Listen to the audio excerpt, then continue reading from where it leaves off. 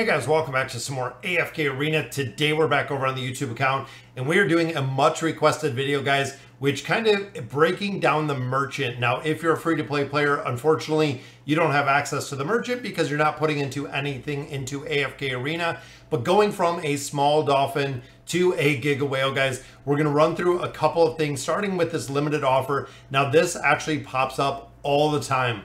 You can see we finished off the Dismal Maze, the offer pops up this offer used to be one specific price, kind of random on what you would get. Now they've given you the opportunity to actually choose your own price. So depending if you want a small dolphin at 25, if you want to go whale at 99, and there are usually always multiple ones of these up. You can see every week we hit 100 activity points. Pretty much anything you do in AFK Arena is going to trigger the limited offer. Limited offer, I would stay away from. I do not recommend it unless you're a whale. Go ahead and buy whatever you want because if you're a whale, what does it really matter? Getting into the merchants. Now, every now and then with some heroes, we will see this pack. Now, the way this pack actually works is when you buy purchases down here, they give you a discount on the top bundle up to 50% off, which actually makes this copy of Damia um, 50% off. So it would be $50 for this copy versus $100 when you first start. Now, overall, the price for a hero like this is $50 for a Celestial or Hypogean, where the Awakened heroes usually run about 100 But if you look at here, you, you have to pay very close attention to the deals and what you're getting out of the deals. Now, I already purchased the Stargazer scrolls out of here when we did our live stream. I also did purchase the um, the time emblems out of here because they were super cheap. It was 15 for the Stargazer cards, which I believe there were 40, and the time emblems, there were 40 as well. If I remember correctly, those were the builds. Now, looking at the rest of the things in here, guys, now, funny enough, looking in here, you can get a copy of Demia for, that is right, guys, $50. If you're buying this pack full price, it's $100. So you can essentially get this pack, pay double what you normally would to get a copy of the hero, even though you do get a little less diamonds, not really worth getting the bundles unless you're going to buy this pack as well as the other bundles to build out this hero. Now, again, looking at some of these builds, we get one for $29. You get two for a 100 Now, I know, again, the diamond variance in here is a little bit. You get a couple more baits, but essentially, if you spend 60 bucks, you'd get both of your um, both of your secret spices right here. Plus, you'd get 600 of your baits, which of course you're losing 200 baits, but you're saving roughly what is that 40 bucks? Because if you get 60 to 100, you're saving 40 bucks by buying two of these limited bundles versus going in and buying the actual most expensive bundle. So what we've realized is through the years, guys, AFK Arena, the more expensive bundles usually are not worth it. And I don't know why they don't give them, um, you know, a little bit more incentive, I guess, to buy the lower bundles. But again, if you're spending, you figure you're getting 4,000 diamonds, two of your secret spice, you're getting 600 of these for 60 bucks. Here, you're getting 200 more of your baits for, again, another $40. And the, oh yeah, that's right. These are the two we bought. $14.99 for the 40 cards and then $19.99 for those 40 time emblems. This is a mega, mega, mega good deal, guys when you look at the cost, so $14.99, even coming back to our limited offers at 24, you only get 18 cards for 24 bucks. That is right, guys. I spent $14.99, got 40 cards, 20, um, the $24.99 actually got us 40 of the time emblem cards. So again, this is why I've said the limited offers are not really worth it. Now, when you look at the event deals, um, a lot of players will buy the dollar one, buy the $5 one overall, guys, again, this is not really worth it in my opinion. The only time it is in the way that they built this in is if you're buying out the battle experience and then you go into the actual event, you get double kind of out of there. So we did buy within the Lost Sigils. I bought this 5X, you can see, but when you look at the total amount of points you get, if you're not buying additional bundles out of here, it actually stops relatively short right there at 4,800 points. These are all purchases, guys. That is right. Once you have this, if you're looking to get any more of this EXP, you have a long, long, long way to go. Now, in addition, you will get um, some more of the emblems that you can actually choose. So you get loot out of the emblems. You also get loot out of that Road to Glory, which again is kind of crazy. I didn't go that much. I just bought the Road to Glory because it did give me a couple more cards. But if you're looking to maximize the Road of Glory, again, this is where you would do it, guys. But even looking at the experience, so here is 2600 experience for a hundred dollars. That is right, guys. A hundred dollars for 2600 experience. So add that in. What is that? Four, five, six, 74. So we would be at 74 if we bought a hundred dollar bundle, which would take us from our 48 to roughly right here, guys. So we'd pick up a, a couple more packs in here. So this pack honestly probably wasn't worth it because I'm not whaling out to actually pick up the rest of the loot. That is at the 5x um, when it comes to buying it out or building it out. Now, in addition, guys, they have coupled purchases with the temporal feedback. So if you're getting a couple purchases, um, the temporal feedback does give you bonus. And then on top of that, when you do the purchases, incentive wise, this um, melodic gifts, they do give you cards out of here, or you do get essentially these records out of here. With purchases, they give you the, the little notes out of pretty much anything in here short of a couple different emblems. Um, so if you buy a pack in here, you do get these as well, guys, the, the note issue six, which will give you more. So not only are you getting your sigils out of here, you're getting the bonus loot out of the sigils, you are also getting these notes, which you can use in the wishing ship and here to actually draw more out. So again, they're incentivizing a crazy amount in here. Now the Apex packs, the Climber packs, the um, Alpinus packs, um, they have a lot of different names for this pack. This is one of the absolute best purchases within AFK Arena. For 20 bucks, you get 45k diamonds. Even when you look at other places like this, um, when you look at the cost of actually buying diamonds itself, which I'm not even sure where you buy the actual diamonds um, anymore. But if you're buying, there we go, diamond deals. If you're buying the actual diamonds right here, it is what 32 plus 32. So for 50 bucks, you get 6,000 diamonds. For 50 bucks, you get 6,000 diamonds. Here you get 45K. That is right, guys. 45,000 diamonds for 20 bucks. Um, 30 times the amount that is why these purchases within here for these, these packs, the 45K diamond pack is a good deal. Now, wishing ship.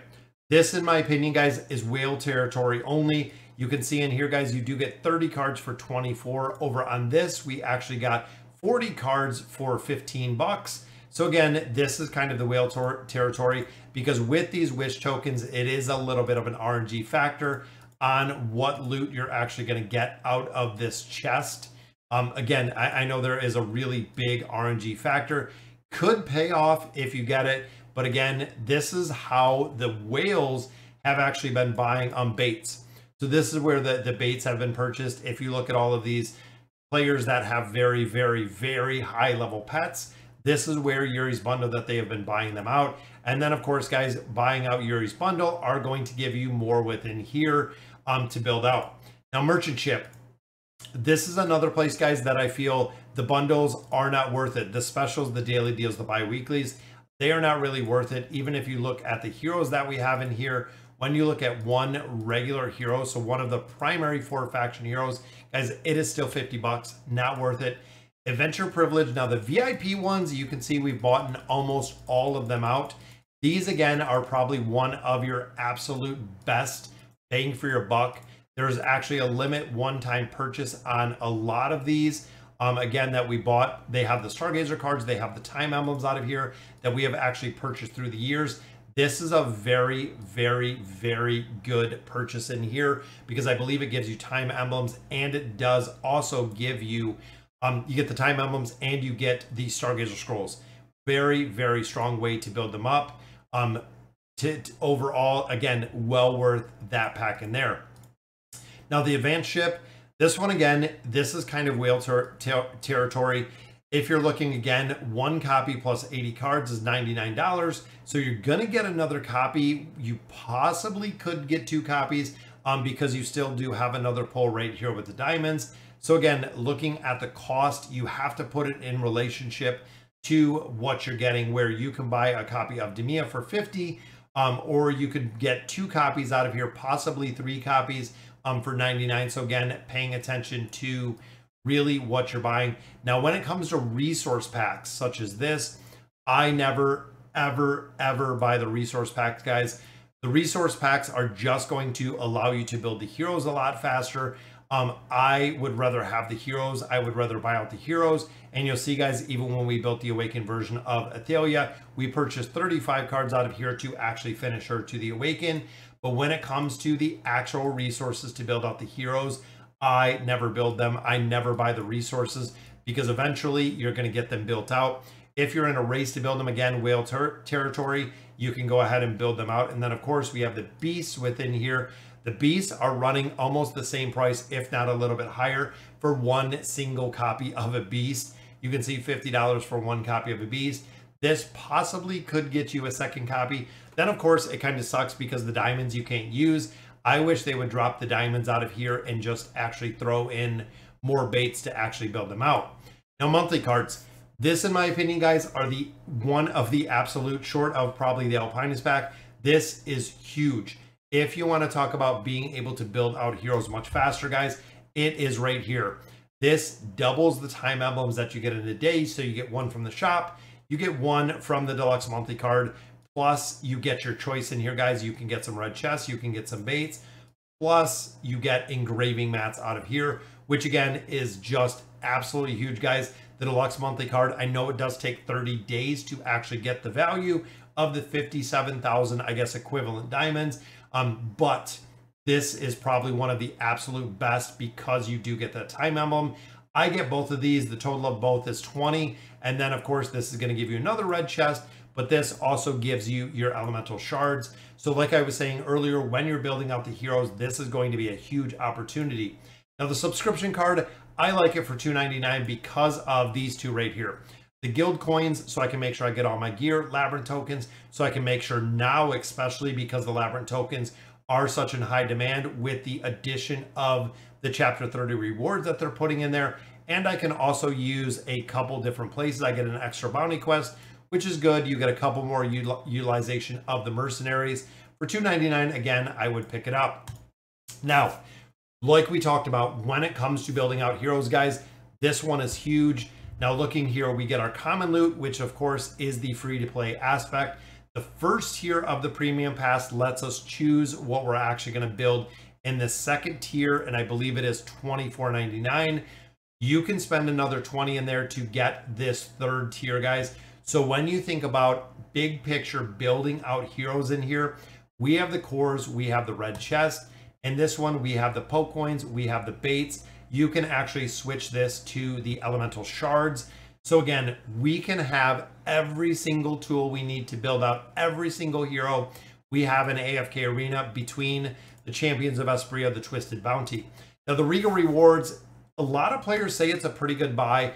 When you get to the point of having a majority of heroes built in AFK arena, I do not buy this and I do not recommend buying this at all 90% of the time, if not higher, I just get duplicate heroes um, out of this, even getting these stones for a possible shot and awaken hero.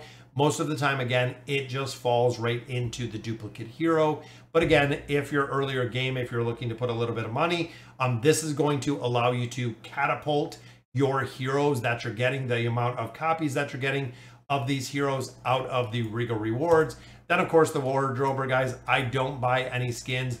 If it is resources versus skins, I 110% always buy the resources, guys. I, I will never buy the skins, even when it comes to Lucretia. When it comes to the skins that actually costed money, um, I do not buy the skins. Now, in addition to all of this, guys, there are a lot of different packs that pop up different places all over in AFK Arena. Um, you'll just see them randomly in different places where you can pick up different packs. I know some of these I believe did have packs. Um, there there are again a lot of different places, even like when you're in your in the Abyssal Expedition. Um, couple places even um, that just pop up with random packs, but you really have to look at what the value is within the shop, what you're getting for the packs that you're actually buying out of there. Stay away from the limited offers, guys. It is really not worth it. But all right, guys, that'll do it for the merchants. There's a ton in there as of right now, guys. It's kind of crazy to see how much they've actually grown that out. But overall, guys, remember AFK is a for-profit game. It is not a free-to-play um, game. So if you're putting something into AFK Arena, really go in there and budget it. If you got questions about budgeting, guys, check out my financial channel, um, Furry Hippo Finance. I've been doing it for a while now. Channel is growing like crazy, almost to 300 subs. But overall, guys, if you're putting anything into AFK Arena, guys, never, ever, ever spend more than you can afford.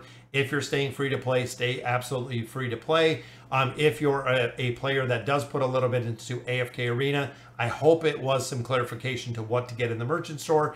Again, I know a lot of players have been requesting me to go through here. So guys, that'll do it for today's video. Let me know in the comments what you guys think. And as always, thank you guys for watching.